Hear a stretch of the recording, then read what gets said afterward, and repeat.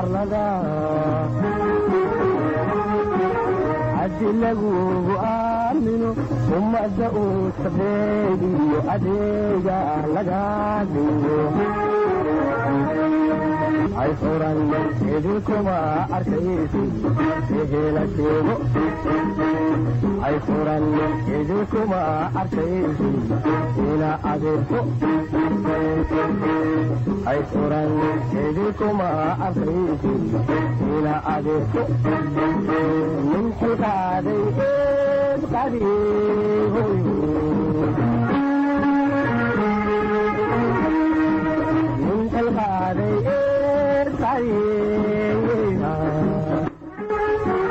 asalaamu calaykum waraxmatullaahi wabarakaatu kulan wacan daawadayaal ku soo dhawaada barnaamijka tixraaca odaha ee kale aad ka daawataan telefishinka som news t v xarunta uu kuleeyahay muqdisho barnaamijka waxaan ku eegi doonaa.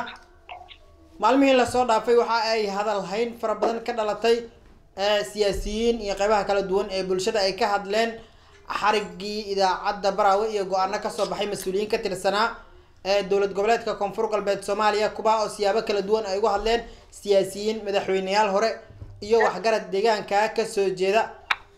Haddaba arrintaas si aan wax badan ugu ogaano deegaanka iyo taariikhdii soo jireenta ahayd ee ay lahayd magaalada baraawe ee caasimada dowlad goboleedka koonfur galbeed soomaaliya. Waxaa qadka teleefonka ee magaalada london ee xarunta dalka ingiriiska ku jira abukaate cabdirisaaq cumar sheegow. Sidoo kale qadka waxaa ku jira ester cali maxamed oo labaduba qeyb ka ah ee aqoon-yahanada ka soo jeeda deegaankaas waa deegaanka baraawe ee caasimada dowlad goboleedka koonfur galbeed soomaaliya. Sidoo kale stuudiyaha waxaa igula sugan maxamed jaylani jecelow oo ka tirsan fanaaniinta soomaaliyeed ahna hal abuure ee suugaan iyo kala duwan ee ka sameeyey deegaankaas. Waxaan wada falanqeyn doonaa arrimo ku geedaaman deegaankaas iyo saameyntiisa. Sidoo kale waxaan qadka qeybaha dambe soo gelin doonaa oo aan dhankiisa wax ka weydiin doonaa fu-aad shooble oo ah milkilihii idaacadda baraawe. Dhammaantiin soo dhawaada marka hore. Waa mahadsan tahay walaal aan ku hormaro maxamed jaylani oo fadhiya stuudiyaha. Maxamed deegaankaas ahmiyad intee la eg ayuu uleeyahay guud ahaan dalka marka la eego runtii ahaantii waa mahadsantihiin t v som news meelba aad joogtaan ramadaan kariim shacabka soomaaliyeed meelba joogtaan ramadaan mubaarak runtii deegaanka deegaan oo waxaweyaan oo ilaahay waa mahad iska lahayd deegaan taariikhiyan ah deegaan oo ummadda u soo shaqo tegi jirtay waa deegaan ganacsi deegaan taariikhis halkan lagu soo koobi kara maahan baraa waa meel qarni soo jireen ah dadka ku nool bulshooyin badan ay isku bedeshay inkastoo hadda bulshada hadda maasha allah maanta xogaay oo khilaafkan hadda oo maalmahan dambe oo islaxyaaciyo warbaahinta iyo golaha bulshada. Waxaan dhihi lahaa khilaaf sidiis wanaaga ka fiican. Wanaagana wax ka wanaagsan ma jirto. Dad in badan isla soo wada jiri jireen oo is yaqaanaan oo isdhadhaleen oo kiilaysim ah. Wa wa waa gartay waa imaan doonaa. Aan siiyo abukaate cabdirisaaq cumar sheegow. Abukaate deegaankan juqraafi ahaan muhiimad intee la eg ayuu uleeyahay guud ahaan soomaalida. Marka taariikhda dib loo eegana si kooban deegaankan inoogu sharax sooyaalkiisa horta walaal waa mahadsan tahay codkayga see loo maqlaa? Aad iyo aad si wanaagsan. Deegaankaas taariikhdiisa intaan ka hadlin horta waxaan idin leeyahay ramadaan kariim ramadaan mubaarak anoo taariikhda u soo noqon doono waxaan rabaa inaan marka hore ansaxo hadal ka soo yeeray madaxweynihii hore ee dowladda soomaaliyeed shariif xasan sheekh shariif sheekh axmed aan dhihi lahaa oo taariikhda aan si sax u sheegin. Hadalka madaxweynaha waxaa ka mid ah inuu yidhi dadka ahlulcilmiga ah oo cilmiga laga soo gaaray deegaankaas waa shariif khulateen iyo qaasim albaraawiya. Marka waxaan rabaa madaxweynaha inaan xasuusiyo iyo dhammaan shacabkana dhegaysanaya ee deegaankaas ka soo jeeda iyo guud ahaan soomaali weyn in dadka ahlulcilmiga ah ee cilmigii laga soo gaaray ay ahaayeen sheekh awees dheere albaraawiya allah sheekh awees albaraawiya iyo sheekh macalin nuuri. Marka labadaasba waxay ahaayeen macallimiintii wax soo bareen shariif qulateyn iyo maxaa la dhahaa eh, sheekh qaasim albaraawiya. Ardaydooday ahaayeen marka cilmigiina ayagaa laga soo gaaray. Kow arrintaas waa xoogaa waa ansaxayay. Waxaan u soo noqonaa deegaanka taariikhdiisa. Deegaanka taariikh badan uu leeyahay. Taariikhdiisa halkan laguma soo koobi karo. Haddaan wax yar ka soo qaad taariikhda waxaa ka mid ah s y l saddex iyo tobankii xubnood. Qa- qab- qabaa'ilada soomaaliyeed qabiilka keliya laba qof ugu jirto dadka deegaankaasa aa laga arkaa. Labadaas qofna waxaa ka mid ah maxamed cusmaan baarba iyo cabdiqaadir saqaawadiin xubnihii ugu sarsareeyey waxay ahaayeen s y l kaalin mugley ku lahaayeen. Eh, taariikhda waxaa kaloo ka mid ah dadka deegaankaas ka soo jeeda. Governatorihii soomaaliya ugu horreeyey wuxuu ahaa adeerkaygu ahaa allah naxariisto cali cumar sheegow. Governatorihii ugu horreeyey beledweyne isaguu ahaa. Marka taariikhda dadka xadaaradda deegaankaas waxa lagu soo koobi karo hadal ma ahan sidaa daraaddeeda haddaan dhahno taariikhda aan ka sheekayno ma ku dhammaystiri karno waraysigan waa gartay waxaan kaloo waa gartay cabdirisaaq hadalka adiga ayaa wata. Marka la eego ee, ganacsiga waxaa la tilmaamaa baraawe in xuduun ganacsi ay u ahayd guud ahaan ee, waddamada geeska africa nin siyaasadda iyo cilmigan na bartay waa tahay. Markaad dib u fiiriso ibnu baduuda imaashihiisii iyo muhiimadii ganacsiga ay u lahayd. Horta magaaladaas waxay ahayd magaalada xarunta ganacsiga africa ay ahayd. Waxaa imaan jiray shiines waxaa imaan jiray talyaani waxaa imaan jiray hindi waxaa imaan jiray kenyaan waxaa imaan jiray bortugiis dhammaantood ganacsi u imaan jireen alaabay keeni jireen. Magaalada waxay ka qaadan jireen suufka subaga caanaha looska waxyaalahaasay ka qaadan jireen. Marka magaalada magaalo xadaarad dheer waaye maaragtay dadka deganna waa dadka soomaali ugu maaragtay wanaagsan oo ugu wadanisan aan dhihi karaa dadka deegaan deegaankaas ka soo jeeda. Sababtoo ah deegaanka waxaa yimid hadda ka hor dad qaxooti ah oo doon ku socday. Waa meeshii soomaaliyeed deegaankii ugu horreeyey oo dad qaxooti lagu soo dhoweeyo. Ee, boqolaal sano ka hor dad qaxooti lagu soo dhoweeyey meeshaasay ahayd. Dadka qaxootiga la soo dhoweeyey laba qabiil ay ahaayeen. Een, haddii loo baahdo magacooda waa sheegi karaa waxaa la dhahaa haatim iyo bido deegaankaasaa lagu soo dhoweeyey dadka deegaankaas soo dhoweeyeen marka waa magaaladii ugu horreysay oo saddex boqol oo sano ka hor dad qaxooti oo doon ku soo jabtay oo badda ku soo caarisay intay soo dhoweeyeen ay magaalada dejiyeen ay toleeyeen ay maaragtay si wacan ula dhaqmeen. Marka magaaladaas magaalo caadi maahan magaalo taariikh dheer waaye. Taariikhdeeda cid ku xadgudbi kartana ma leh cid been ka sheegi kartana ma leh taariikhdana waxaa ahli u ah dadka deegaanka ahli u ah. Haddaan dib ugu soo noqdo wadaadkii wadaadkii sheekh qaasim albaraawiya. Waxaa looga imaan jiray masar diinta. Diinta islaamka dadkii ku fidayey soomaaliya ka mid ahaa. Wuxuu ku hadli jiray luuqado badan af carabi af maayo af tuni ah iyo wuxuu ku hadli jiray afkan la yidhaahdo jemini oo dadku u yaqaanaan af barawani sidoo kale macalin nuuri allah u naxariiste waa ninka diinta islaamka magaaladaas baraa ku turjumay afka jeminiga waaye waana dadka ahlul magaaladaasa waay marka magaaladaas magaalo oo xadaarad dheer waaye taariikh fiicanay leedahay ma garad? Waa gartay waa kugu soo noqon doonaa waxaan siinayaa easter eh, cali maxamed.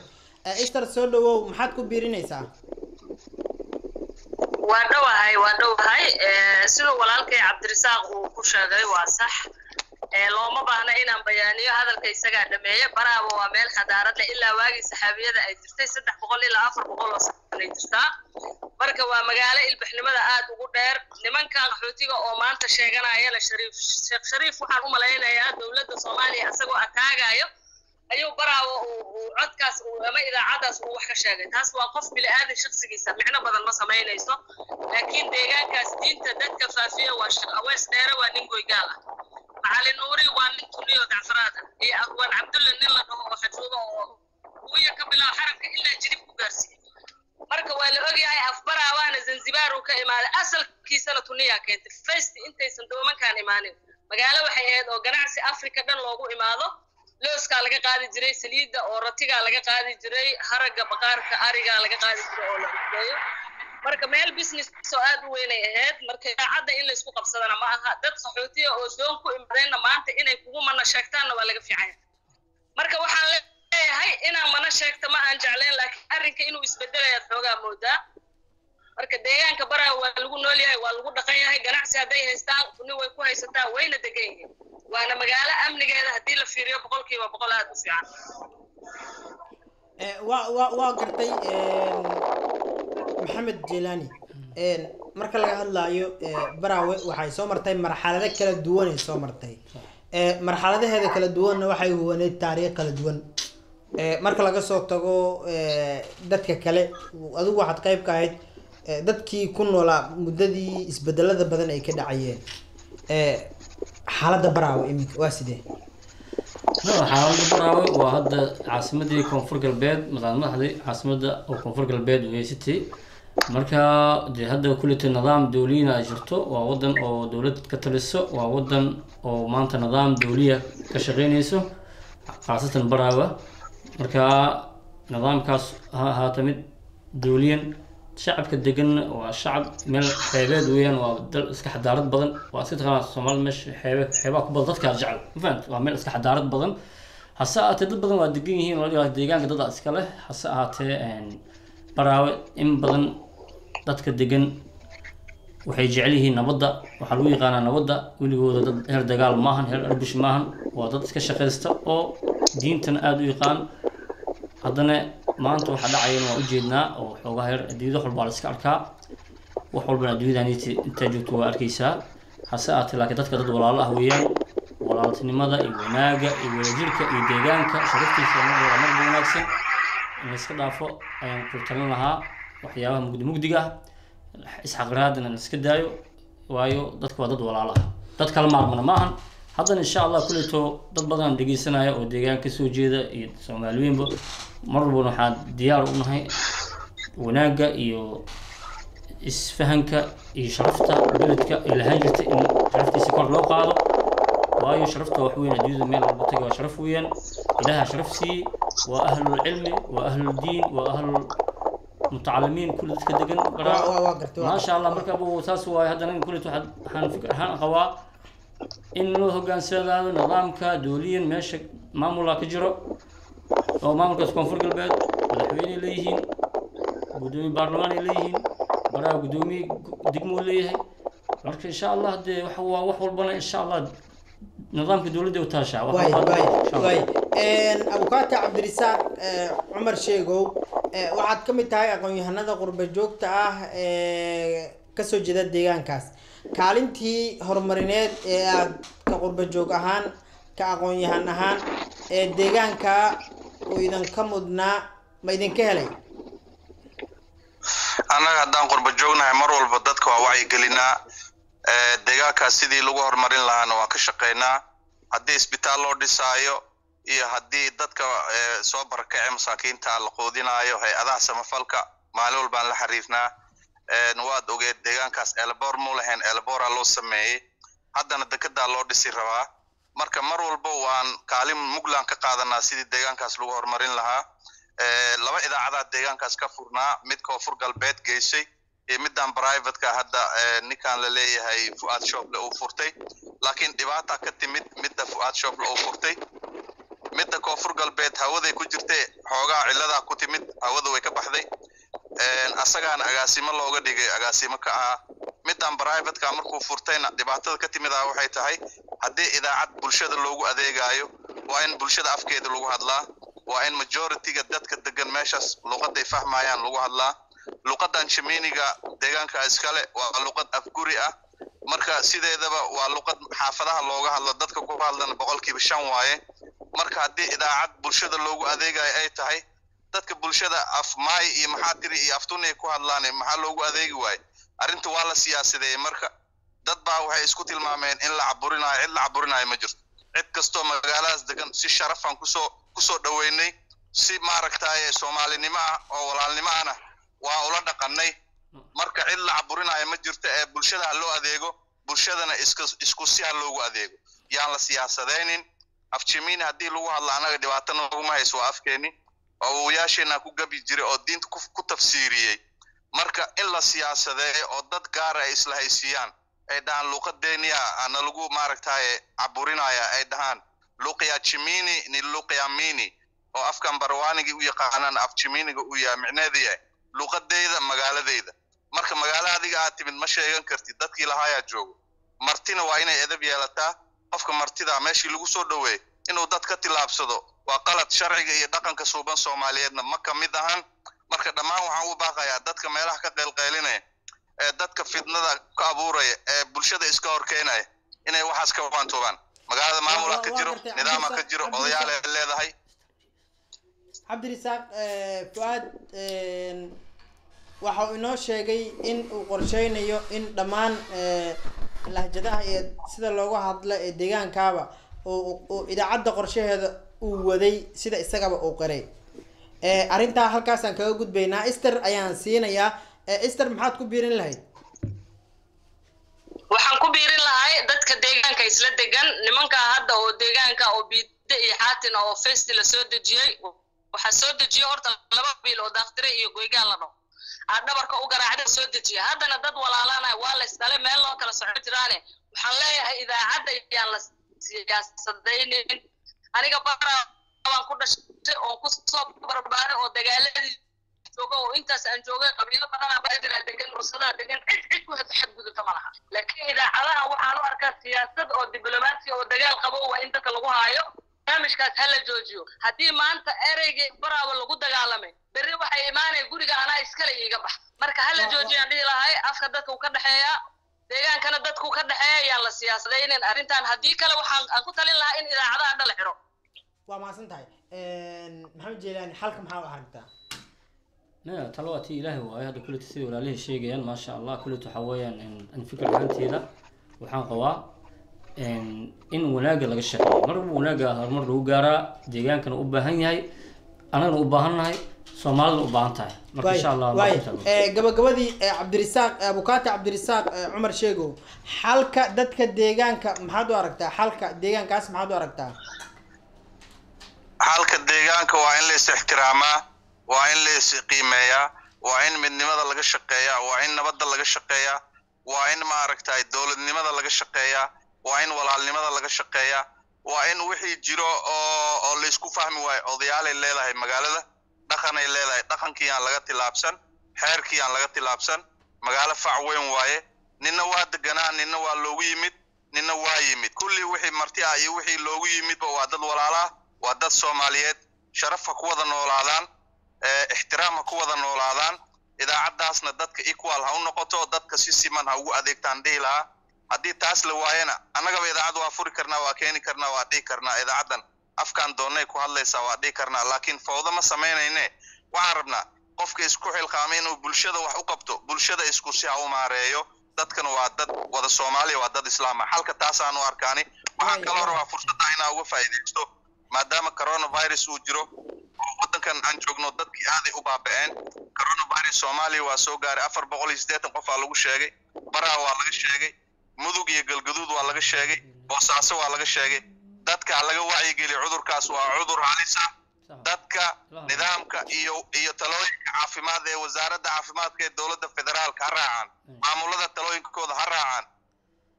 Cudurkaasna dadka in laga wacyigeliyaa u baahannaha ugu baaqayaa shacabka dhan iyo intii dhegaysanaysaba waa mahadsan tahay. Ester maxaad ku biirin lahayd oo aad ku soo gabagabayn lahayd? Wallahi waxaan ku biiri lahaa. Dadka waa dad walaalo. Ee waxaan dhihi lahaa barnaamijkan ha la gaabiyo gacmo geel jiro hoosaa loo arrintan yaan la qaadqaadin idaacadda sida lagu qanacsan yaha ha la sameeyo. Deegaankaasna siduu hadda cabdirisaaq uu ka dhawaajiyey cudurkaa socdana allaha naga qabto. Wacyigelin badan ay u baahan tahay. Xilli la iska qabsada hadda lamaba joogaba. Marka waa arkaya dad badan oo qaylinaya aad baan ula yaabay. Marka waxaan jeclaan lahaa in ay bahashan gaabiyaan oo arrinta siday shalay shalay ay ku dhiseen ay ku socodsiiyaan. Wanaagana taasay ku jirta insha allah aad baad u mahadsan tihiin guud ahaan intaa ayaan ku soo afmeerayaa barnaamijka. Inta barnaamij noocan oo kale aan ku kulmi doono sidaasi nabadgelyo ammaan allah